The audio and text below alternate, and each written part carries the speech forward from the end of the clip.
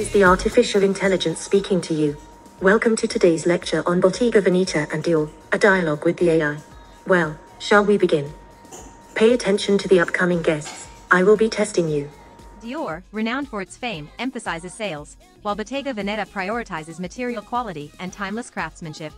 Dior offers a wide range of shapes, from traditional to playful designs like the iconic saddlebag, using diverse materials such as leather, embroidered canvas, and jacquard.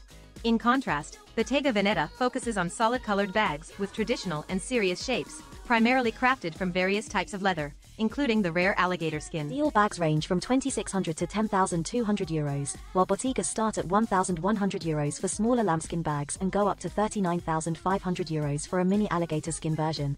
Dior appeals to a broader market, prioritizing sales and revenue, while Bottega targets a more exclusive clientele seeking high-end craftsmanship over a prominent logo. Dior and Bottega Veneta differ in store decor and materials. Dior opts for elaborate decorations, while Bottega Veneta embraces a classic and elegant design. Materials vary, Bottega uses plaster, marbles, brass, and recycled wood, while Dior incorporates these with sand, clay, and raw fibers.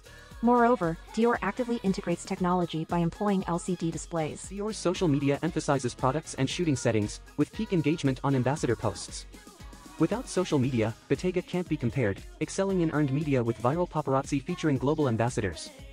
Both brands feature diverse global ambassadors, from Asian K-pop stars to American Hollywood actors. In marketing, Dior uses paid media for influencer product promotion, while Bottega's influencers aren't paid. We recommend that Bottega preserves its upscale image by staying off social media. While continuing to explore innovative materials in textiles and leather, the brand should focus on personalized products and distinctive in-store experiences to strengthen customer loyalty. Instead of generic collaborations as other brands do for profit, the brand should consider creating special limited editions to increase exclusivity. Did you guys take notes? Good job.